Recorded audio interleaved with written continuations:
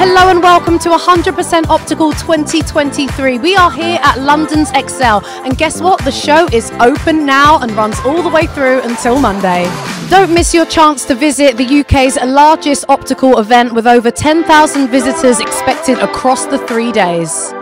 Find frames, equipment, machinery, lenses, contact lenses, and so much more from over 250 exhibiting companies and over 500 brands.